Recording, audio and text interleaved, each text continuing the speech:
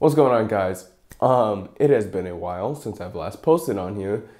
Um, if you're new here, I am a filmmaker and content creator based in Tacoma, Washington. Today I'll be showing you guys how I made my $300 real wood sit stand desk. Without any further ado, let's get right into it.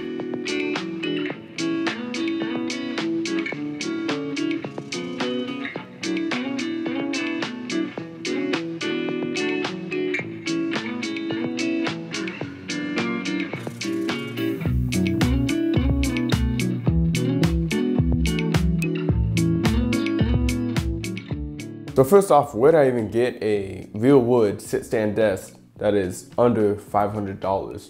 Well, the answer is Home Depot. They have the Husky line of tools and workbenches. So I snagged that off of Home Depot and it took, it took about a month to get here. So yeah, but also when the desk arrived, it came in like a full-size semi-truck. It was insane. I've never had a package arrive like that before, so that was new to me.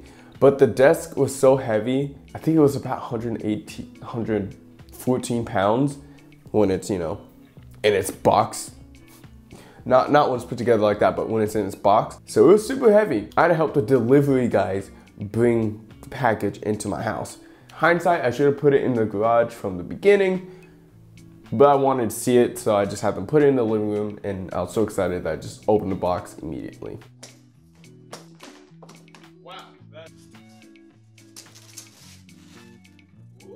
When the desk arrives, it arrives in like this birch color. There's no other options to choose from. So if you want like a darker color wood, like walnut, or the same color I have, which is espresso, or anything else like that's darker than birch, you're gonna have to get a different desk or just stain it like I did and you can save money.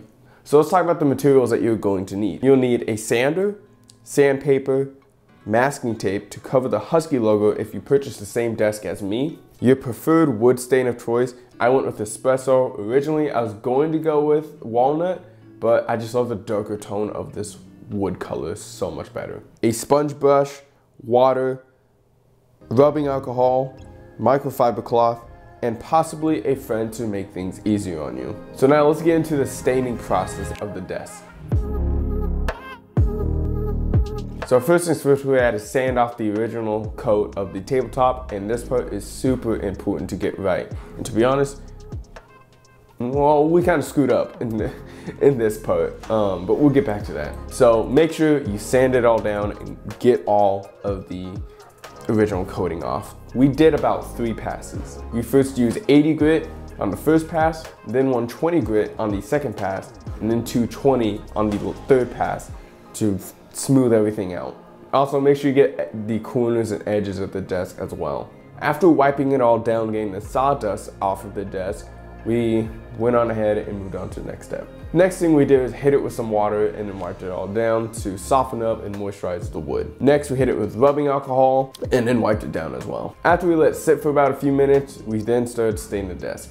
And right here is where we screwed up.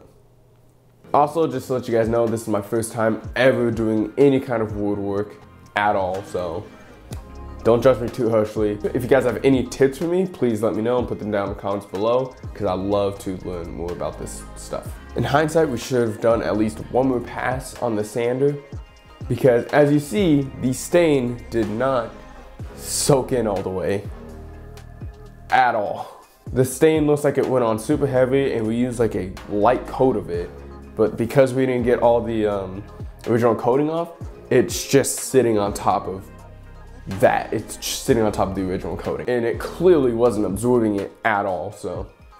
And to make things worse, because this is my first time ever doing this, like I prefaced, I thought it was okay, so I just went on ahead and poured more stain on the wood. Which then also didn't soak either, so it was just a sticky terrible mess. Was not fun. And a couple days of the stain not soaking into the wood because I just assumed it would. Um, I hit up my friend Darian and he came over after like an eight hour wedding day that we both had to do, sanded off all the stain, which was kind of heartbreaking to see, but we had to, we had to do it because we screwed up.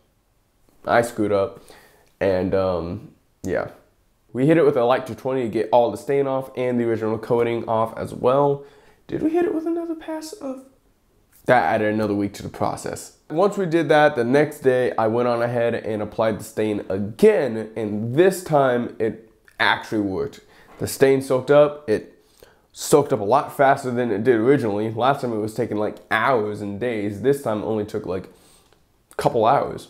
After a couple hours of it soaking and it was dry, I went ahead and applied another coat of stain and then let that sit. Then the next day I added the clear coat stain, which is the protective finish I want to put on. It's just so I can put cameras or dishes or whatever else that goes on my desk without worrying about it being scratched. So yeah, I applied the first coat, sanded it down. I also got this wood stain marker that I picked up from my local hardware store just so I can get to hard to reach places like the Husky logo or just places I missed like corners of the desk. We also didn't bother touching the bottom of the desk just because nobody's gonna look at it. So yeah. Also I had screw holes and I didn't feel like dealing with those screw holes. And after that whole process of staining it, it was finally time to move it into my office.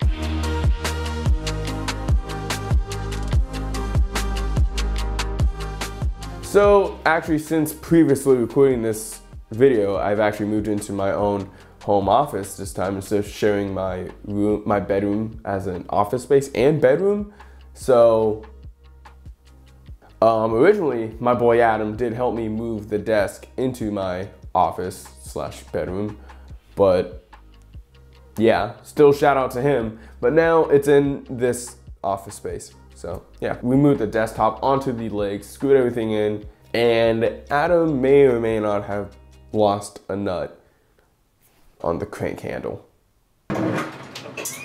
And here's the finished product of the desk.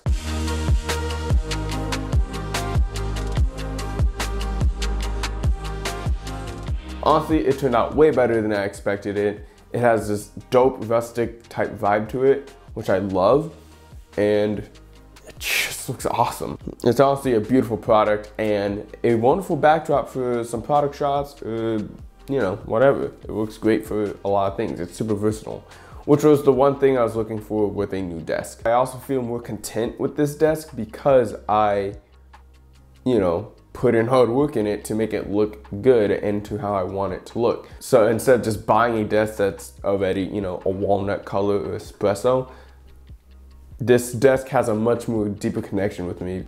Now, I still need to do cable management. I know that's coming hold your horses. Um, I still don't know if I'm going to do a full review on this table yet. I doubt it, but if you guys want to see it, let me know. If you guys are interested in more content on this YouTube channel, please let me know.